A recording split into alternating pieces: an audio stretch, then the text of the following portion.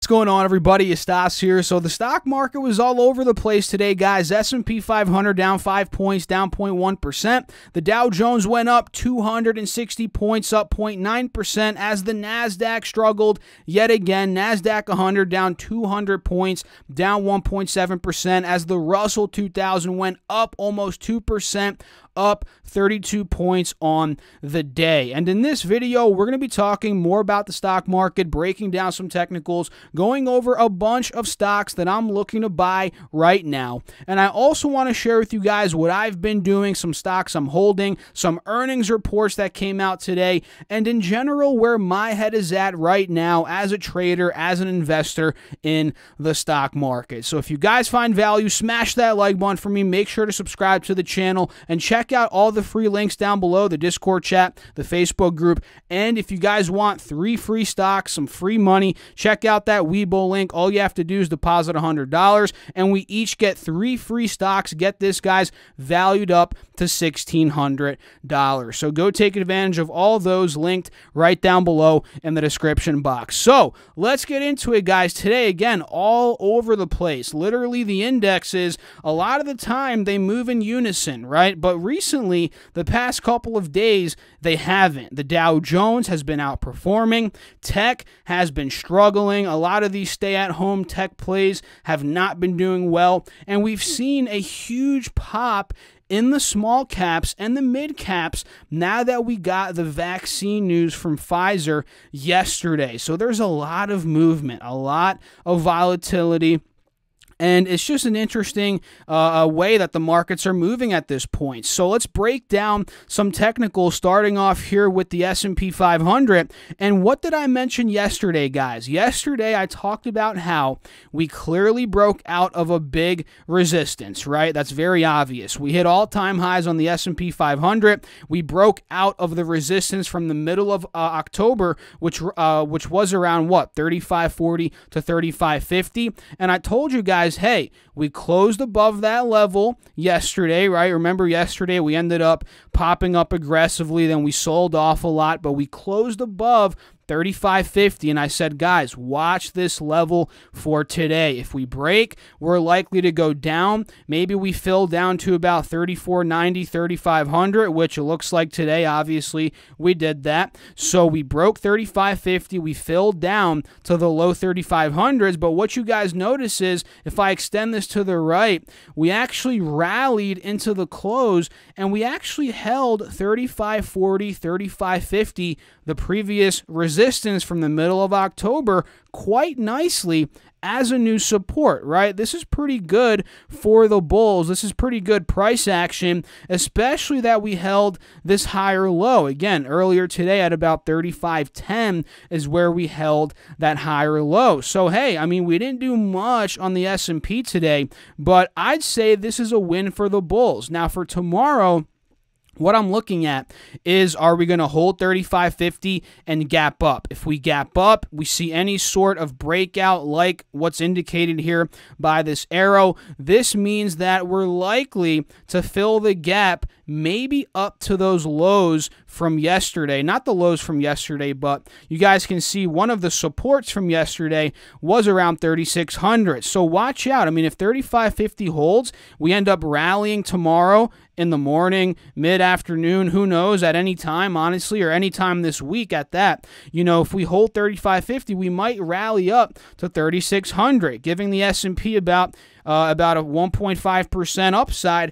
from here, right? And of course, if 3600 breaks, right, we might end up going back to that all time high. But again, we have to wait for that confirmation. And honestly, if 3550 breaks, we gap down tomorrow. That's not going to be good for the Bulls, obviously. And we might be going to test those lows from today at 3510 and maybe under 3500. That could be where we're going if we fail to hold 35. 3540, 3550 in tomorrow's session. And how that translates over here to the SPY guys you can see we held just above 354 today. That's a very good sign for the Bulls, right? On the five day, five minute, you guys can see today's consolidation was at a higher low. So, technically speaking, here in the short term, the uptrend is still intact. And you guys can see if I pull back to the 10 day chart, you can see that we're holding the 180 SMA here on the 10 day chart. Now, all we need to see is the confirmation, like on the SPX index,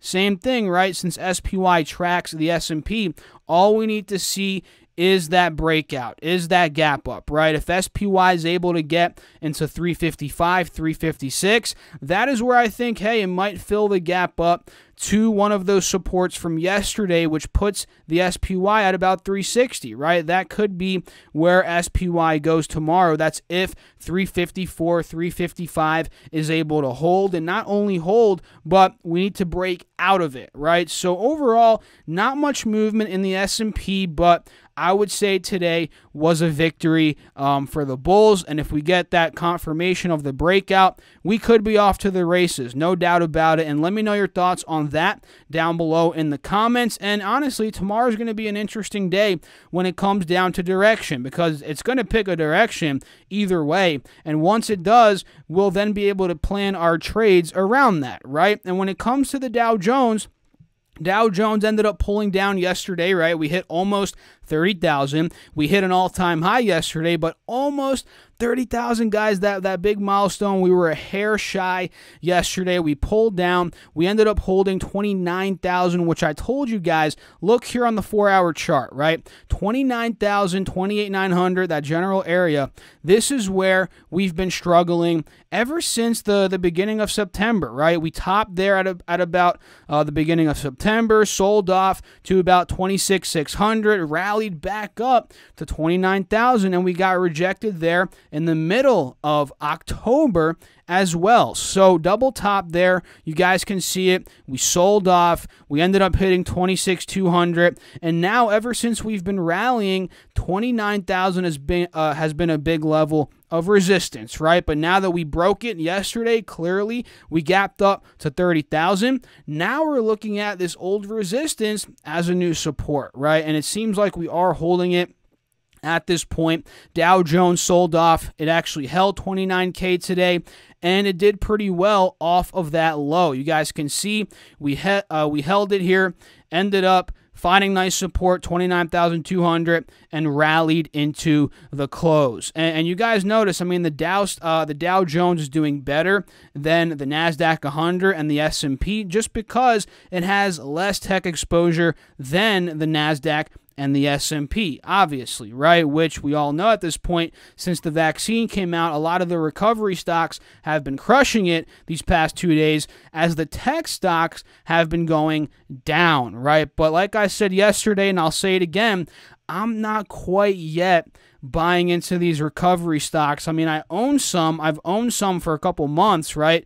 Um, and you guys know that I've owned what, like Foot Locker, you know, Cheesecake Factory, and uh, some other ones I have to double check. You know, I own a small cap ETF, which is I think ticker symbol IWM that tracks the Russell. So I had a lot of these beaten down stocks already that that are doing well now, obviously in my long term account. But in terms of chasing some of these that have gone up 30, 40, 50 percent at this point since literally two days ago, I'm not doing that. If anything, I'm actually focusing on the dip in tech, which taking a look here at the Nasdaq 100 guys, the dip in tech is not extremely substantial by any means, but it's pretty solid. I mean, we're down from 12,200 here, which was a big resistance from the middle of October, so we failed to break out of that. And we're down a good 5% from that level to where we are now in the mid 11,000s. And mind you, guys, we actually held 11,500 today, which is a big level of support on the NASDAQ 100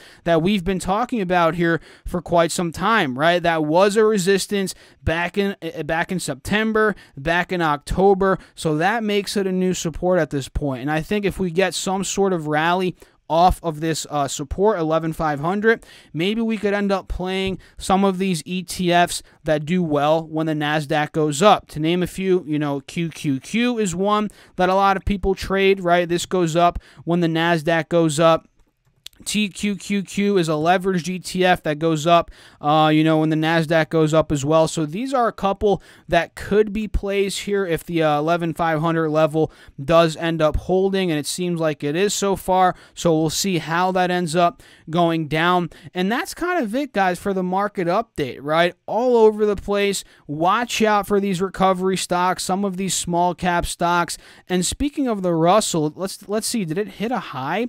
Um, I'm not sure if it did actually. Wow, Russell 2000 officially hit an all time high, breaking that high from back in 2018. And fun fact the Russell hasn't hit an all time high, I mean, until today, uh, but the previous all time high was back in 2018, which was a, about a little over two years ago um, from when I'm filming this video. So, interesting stuff today, guys. Let me know your thoughts down below in the comments. I would love to know what you guys think. Are you buying stocks? Are you selling? Are you simply holding?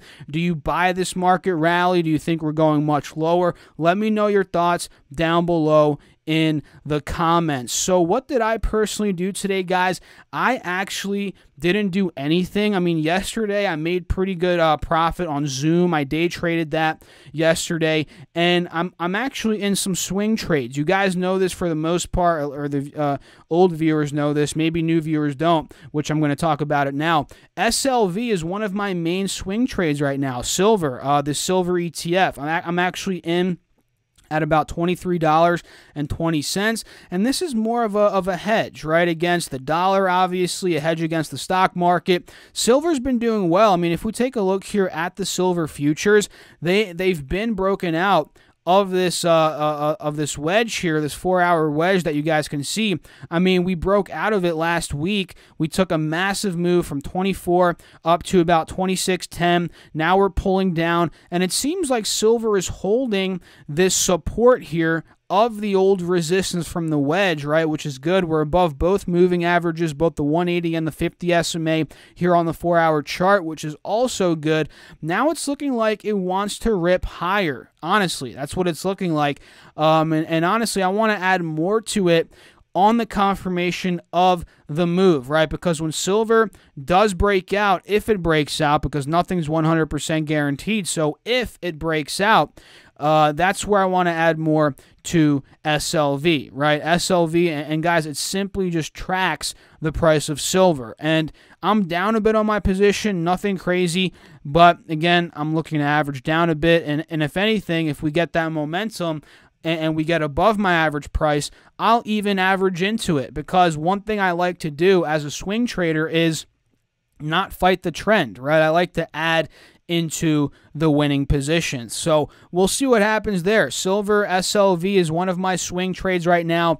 Apple is another one, which, by the way, guys, did you see the Apple event today? Another Apple event um, occurred. They actually released some cool um, new products the MacBook Pro, the MacBook Air, and the Mac Mini, and they have some new chips in there. Um, I believe it's called the Silicon chip, and uh, you know, a new M1 chip is, is what it's called as well. So pretty interesting stuff there from Apple. And guys, funny thing, I was about to buy the MacBook Pro today, and I was like, Stas, you might be doing an impulse purchase here. You might, you, you got to take it slow, Stas. And, and that's kind of what I tell myself whenever I'm, I'm about to impulse buy something, especially if it's like 2000 bucks, right? I usually give myself a couple of days, but hey, I mean, to, to make these videos and, and, you know, make quality content, I think it's good. And it's also a business write off for me. And I'm, I'm filming on a 2017 MacBook right now. It's not too bad, but hey, I mean, if I get like a couple hundred for this MacBook,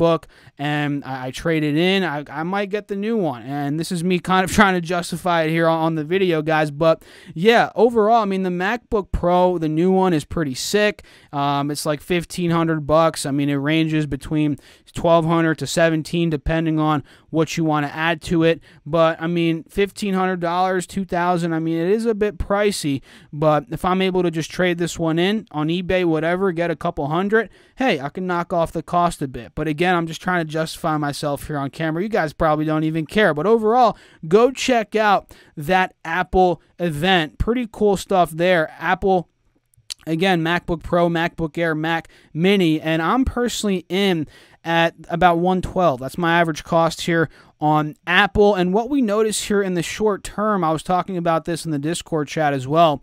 What we're seeing is a big resistance at about 117.50, 117, 118, right around that area, right? That is kind of where we're struggling right now. And on the intraday chart, you guys can see from yesterday and pre market, I believe today, we were struggling at about 117.50. So in the short term, that is a point we need to break. We need to break above 118 and there, I mean, we might see a nice rally of an Apple, uh, maybe back up to the 120s. That's kind of what I'm looking for here. And overall, I think we'll explode out of this wedge that you guys can see on the four hour. And going back to what I said earlier, you know, adding into my winners, right? Apple's one of my winners right now.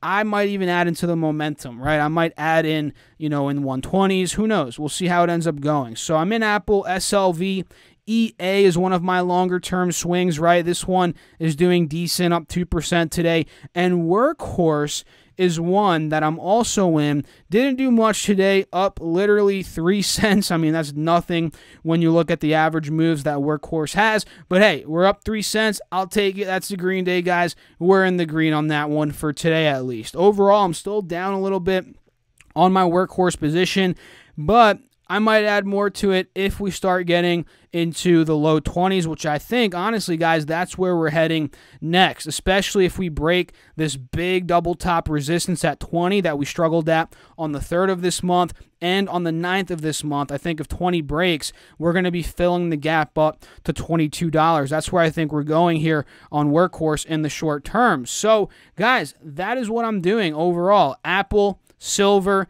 EA Workhorse. And again, if you guys are interested in Apple, go check out that event. It's it's pretty interesting stuff there, and uh, you might you might see why I wanted to impulse buy that Mac because guys, oh man, I'm just an Apple junkie. That's the truth. I, I, just love Apple. But that's just me. And again, let me know your thoughts about everything down below in the comments. What are you guys doing? What are your thoughts on Apple? Is it overpriced product? Is it underpriced? Which, I mean, if you think it's underpriced, you're losing your mind. But hey, let me know your thoughts down below, guys, in the comments as always. So we had some earnings reports, and you guys know it is earnings season as I'm making this video. Yesterday we had Plug Power, we had Workhorse, we had McDonald's, Aurora, Nikola, Tilray, Novavax, Beyond Meat, right? A bunch yesterday. And today we're going to go over two rocket companies and Lyft. And we also have Tencent today, which we could look at too, honestly. And tomorrow we have Purple Vroom, Revolve. We have Lemonade, another new company here. A lot of these new um, IPOs that just came out a couple months ago, they are reporting earnings tomorrow. Thursday, we have Wix, Cisco. We have the Walt Disney Company, which I'm super excited about here. And and Friday, we have another one that I'm super pumped about, which is DraftKings. And uh, we're going to talk about that one in this video. So let's talk about these two Rocket uh, Company here and Lyft, what they did, and do some technical analysis on these stocks. So Rocket, EPS of a dollar 21 versus a dollar 7. So a nice beat there EPS. Revenue came in at 4.63 billion versus 4.55 billion estimated. So a double beat there EPS and revenue. And what we notice is guys, I mean the stock is still downtrending. It's still downtrending here on the 4 hour down below the 180 SMA now. It's about to cross under the 50 SMA which it, if it does, I mean that's going to be very bad for from a bullish perspective perspective, that means we might be pushing to hit those lows back at $18. So, technically speaking, I mean, this is not the best setup for me, right? I don't like trading stocks that are just overall downtrending on the four hour chart. It's not my type of move, right? But hey, if we end up taking out 21 $23, I think 23 is the big sticking point. 23 24 hence why I have an alert at 25, right? Let me just lower that a little bit. Maybe we can do the alert. Um, let me replace it and put it at you know, 24 20, whatever, we'll put it there. So I'm thinking if 24 can break, I, I, mean, Rocket could be one of those plays. But until then, I'm a bit skeptical on it, quite honestly, because we could be hitting another low in the high teens. Who knows, right? And Lyft, ended up reporting today as well. LYFT, they did EPS of negative $1.46 versus negative 91 cents. So a very poor miss on EPS there on Lyft. And revenue came in at 499.7 million versus 486.45 million estimated, which they beat there by a slight margin. And the stock recently, guys, I mean, we called it out above 30 is a breakout, right? We said that in a couple videos ago. We did that. We broke out. We filled the gap all the way to 35. We broke 35. Now we're looking to maybe hold 35, 36 as a support. And quite honestly, it's overbought. RSI is screaming red, which means the RSI is overbought, right? So I'd like to see a, a little bit of a cool off. If we can sell to the mid 30s, consolidate there a bit, maybe we can make a play from the mid 30s up to the next big resistance, which we hit back in June, beginning of June, at about $40, $41. So I'm looking at Lyft. It's attractive. Bullish momentum is there, but it's a bit overbought. 35 could be an entry if it cools off a bit, and that's kind of where I'm personally watching it. So those are some earnings. We're going to talk more about more earnings later this week, so make sure to subscribe to the channel if you guys haven't done so, and also hit that like button. Let's try to get 400 likes. I challenge you guys 400 likes on this video. So let's talk about some other stocks. ML or MELI, Mercado Libre, guys. This is a great ecom play from down in South America, and this is one that's that's got got crushed today, down eight percent, down over hundred dollars a share, and overall it's down almost three hundred dollars a share from its peak, literally a couple days ago, right? From fifteen hundred, now we're down to the low twelve hundreds. So this has opened up a almost twenty percent window on Mercado Libre, which I qu- quite honestly think is a dip buy. Um, I was calling this one out. I mean, you guys know we talked about Mercado Libre like two months ago when it dipped down from 1250 to the to the high 900s. I was calling out that dip buy, and this is in my eyes another one of those dip buys. Another 20% correction, which you guys know if a stock index, ETF, whatever, if it goes down 20% or more from its peak, it's considered a bear market, right? 20% or more. And Mercado Libre is almost there. So I mean, it's it's down almost 20%. It's almost in a bear market in literally 2 days, which is crazy, and I think that's a buying opportunity for me personally, right? And, and for you guys, you must do your own research. I'm not a financial advisor. Always do your own due diligence and buy stocks on your due diligence only. If you buy stocks based on my opinion and it doesn't go well for you, I mean, you can't blame anybody but yourself because I tell you guys, don't do it. Only buy on your research, right? You can use my videos to supplement that, which I'm sure you guys do, obviously, since you guys watch me. But you doing your own research is vital. So the next one is Target, TGT. Target is down about $8, 8, $9 here from its peak down about what? What's that? Let's that's got to be like a couple percentage points four or five percent. Let me double check it here. Yeah about four or five percent. And honestly guys it's pulled down. Now it's held a very strong old resistance at about $155. This is where we actually saw the massive gap up. We saw resistance there back in the middle of August, and it seems like it wants to hold this point up 2% today, up $3.16. And this could be a dip buy as well, very similar to Mercado. Like that's a dip buy, right? I think this could be a dip buy on Target, but it's not as attractive as Mercado as we are seeing a potential descending pattern forming. But then again, if I draw this, it's it's kind of a wedge. So, I mean, we have to see where Target ends up picking. I think if 157, 158 can hold, which it seems like it is, we might see a short-term rally up to 163, right? Something like this. And if 163 is able to break, that is where we might see a nice breakout and a leg up, maybe back to that all time high at about $167. So watch out for Target here, guys. I think it's interesting. Earnings are coming up on the 18th. And I mean, yeah, this this company didn't really struggle during the crisis, which by the way, we're still in the crisis now. But it's uh it didn't really struggle and arguably the vaccine i mean definitely it's not arguable the, the vaccine is going to be better for Target too. So they did well during this crisis. And now that we have a vaccine, they're arguably going to get more customers back into the stores. So, hey, I, I guys, I mean, Target this one could still be in play. We just have to see what happens and what kind of earnings and guidance they do end up reporting. And the next one here is Ulta.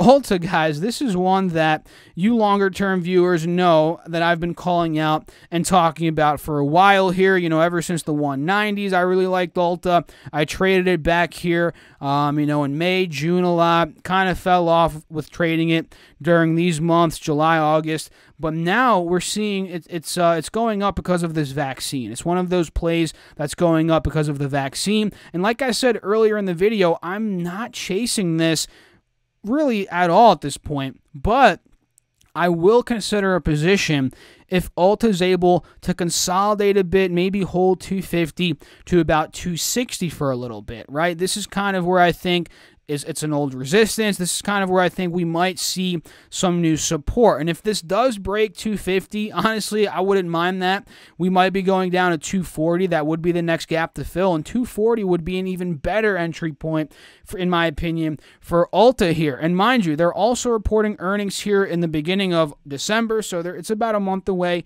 But keep that in the back of your head. And we actually got news today from Ulta. They're doing well, not because only the vaccine up 7% today, right? Not not only because of the vaccine, but also they partnered with Target, which we just talked about, for beauty shops located in 100 Target stores starting in 2021.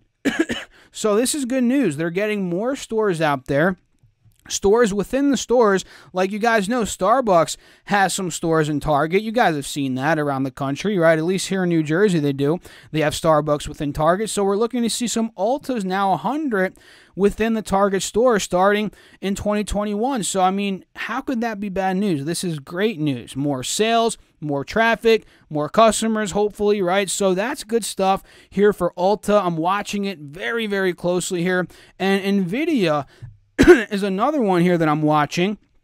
Down 6.3% today, down $34. We're holding the uptrend overall here on the four hour chart. We're also above 500, 505, which is a big level of support. And guys, I'll be the first to tell you this is a falling knife still, but if we hold that 500, 505, we might see a bit of a relief rally. I think a relief rally up to maybe 530. And mind you, guys, we're down over $100 in NVIDIA in about a day. It's down over 15%. So it's going to, I don't want to say 100% because nothing's 100% guaranteed, but a relief rally could happen in my eyes from 510, 505, maybe back up to 530. So I'm watching that for tomorrow and for the rest of this week. And uh, if 530 breaks, I mean, hey, we could go even higher from there. So watch out for NVIDIA. Earnings are also coming up, I believe, next week um, on the 18th here of this month. So that's going to be fun. And cake is another one here. Cheesecake Factory, guys. Remember I said earlier, this is one of the recovery stocks that I actually own in my long-term account was buying this one I forget honestly because I don't really check my long-term accounts every day. I mean, I barely check them, honestly. And uh, I was buying, I think, in the 20s, 25s, a little bit in 30. Um, but overall, this one's exploding, right? And this is another one like Ulta that I'm not necessarily looking to rush into it in my trading account. But I think if it cools off a bit, we could end up maybe shorting this, a short term play, in, in the short term, uh, you know, like a put option. Although I'm not the biggest guy with put options, I don't do them often. But I think it's a bit overbought, and I think we do have rooms to come down. I mean, if we could come down to the, the low 30s, maybe not even low 30s, but more like mid 30s, you know, 34, 35, that could be a dip buy. And in the meantime, we could end up playing puts and then picking up shares at 33, 34 dollars here on Cheesecake. And you know, from 33 back up to 40, hey, that's about a 15% move if it does end up happening, right? So that's Cheesecake. Another one here is Square Guys Square's down a good chunk from 205, down about 15%. So you notice a lot of these tech names, these tech oriented stocks, they're almost in bear market territory. Again, anything above 20%, it's bear market territory. It doesn't matter if it happened in a day, a month, six months. I mean, if you're down 20% or more from the peak, it's bear market territory. Doesn't matter what time frame it occurs in. It's just the truth. And we're almost there with Square. It's down about 15%. So watch out if 170 could hold here, the 180, the 50 SMA here on the four hour chart. This could end up being a dip buy, but like NVIDIA, it's kind of a falling knife still. So be careful there. And we could maybe get a relief rally from 170 to 180. I think that's very possible here with Square. And talk about a pull down today. Finally, guys, NIO it started to pull down. We got down to 80, not 80, geez, $80. Imagine that. $38 is where we got to uh, today on NIO. And honestly, this is good. This is a good sign of a healthy sell off, but I'm still not buying it. I need more. I need a bigger sell off, honestly, guys. I want to see this thing mid 30s at least. And until then, I'm just watching it. And I honestly hope and I don't want I don't want to say that because I don't want people to lose money. Obviously, I mean I want you guys to do well, but I just for the health of NIO stock, I really want it to just come down. Honestly, I'm hoping their earnings aren't that great. Maybe guidance. I hope guidance is good, but hopefully they they they miss a little bit. Who knows? They might it might not happen, but if they get uh if if they you know do a little bit poorly on earnings, that is what could send down the stock to that mid 30 even low 30 level, which I would love. That would be a buying point, in my opinion. And until then, I'm just watching on uh, watching it and holding on to the existing long-term shares that I already have. So that's some thoughts there on NIO. Beyond Meat is another one today that saw a nice little bounce back play. We held 105, you know, after earnings yesterday. We filled the gap now all the way to 125, and now I mean this could be a play if 125 breaks, right? From 125 up to 135, 140. That's the next gap to fill here on Beyond Meat. And AMD guys got slammed today down 6%, down over $5. Now we're looking to maybe hold this 77, 78 level of support, which honestly, guys, it needs to hold. I mean, if that breaks, we're going straight down to $74 here on AMD. But if 77, 78 holds, we could get a relief rally, maybe back up to the 80, maybe $82 level. So those are the main stocks here I'm watching, guys. Some earnings reports, what I'm personally doing, and in general, some thoughts that I have here on the market. I mean, you guys, if I want to leave you with one thing, I talk about this all the time. Trade what's in front of you, right? Throw your bias out the window. We have crazy things going on right now with the election. We don't know officially who won yet. There's battle back and forth. Try to erase all the noise. Forget about the election. Forget about this. Forget about that. And focus on what the technicals are showing you. What's the pattern? What's the chart showing you? And if you're uneasy, no one's forcing you. No one has a gun in your head and saying, okay, you have to trade. No one's forcing you. Sometimes the best trade is no trade at all. So keep that in your mind and have some cash. Have some cash if you are a bit nervous because that's always like a safety blanket. So that's it, guys. If you enjoyed the video, hit the like button. Again, let's try to get 400 likes on this video. Make sure to subscribe and join the Strive Smart Discord chat and the Facebook group. And also, don't forget to get your three free stocks from Webull. And all of those are linked right down below in the description box. So I'll catch you all in the next video. Thanks for watching. As always, be safe out there. Keep crushing the markets. Peace out.